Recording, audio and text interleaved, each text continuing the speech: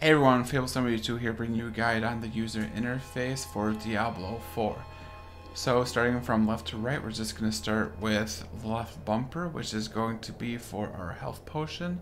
So whenever you hit the left bumper, it will restore some of your health. Uh, how much health depends on the rank and level you have with your alchemist. You're able to um, make your potions a little bit stronger if you give the alchemist more money and more herbs. The next thing we have on here is for the scroll of town portal. Now if you hit down on the D-pad, it will port you back to the main city in the zone that you're at. So currently if we hit down, down on the D-pad, it will bring us back to Kyovashad. You can see that here. We'll cancel that one out. Alright, the next thing we have on here is the B button, which is going to be for a dash. Uh, it has a 5 second cooldown. And like it says in the name, it just dashes you around. I must wait. Alright, then the next thing we have on here is the actual health pools uh, to the left of the dash. Uh, right now we have full health currently, which is why we have a full red orb.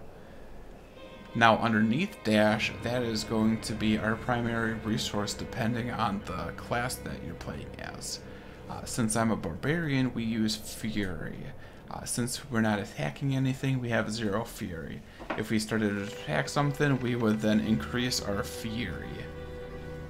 Our skills use that resource, and then it would diminish it, then we have to use one of our core basic abilities to replenish that Fury.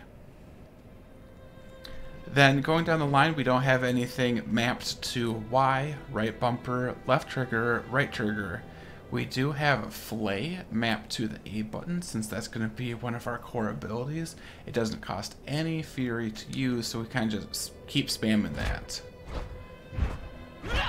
Alright, then the next one we have is Commanding Shout. So if we hit X, it's going to taunt every enemy in the area. It's also going to give us an increase in defense, and it's going to give us thorns. So the enemies that you just taunted to attack you, when they attack you, they're going to take damage. Now at the top right of the screen, we have the location that we're at. Currently we're in the southeast foothills. We're level 22. Uh, that one's a little bit redundant, since it also shows it um, above our skills and abilities um, in that bar. Now next to that we have the map button. So if you click on that, it will just bring up the map. And then next to that we have the world tier. Currently we have it set to 2.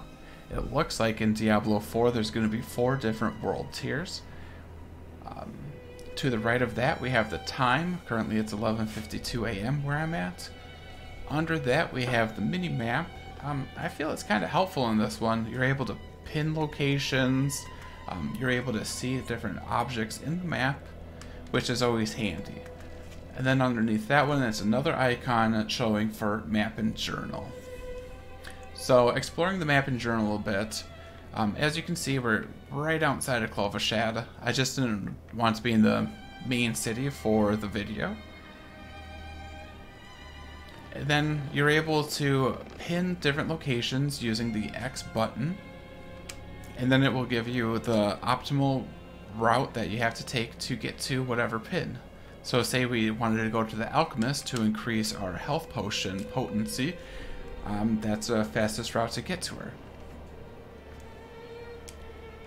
And then in the overall of the map, there's going to be different areas. So we have waypoints, strongholds, side quests, areas discovered, side dungeons, and altars of Lilith. Now, each time you collect one of these, it's going to increase your renown.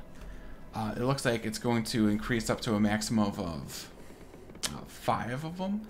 We've already unlocked two of them. We're working on the third level of renown, which is going to give us bonus experience in gold.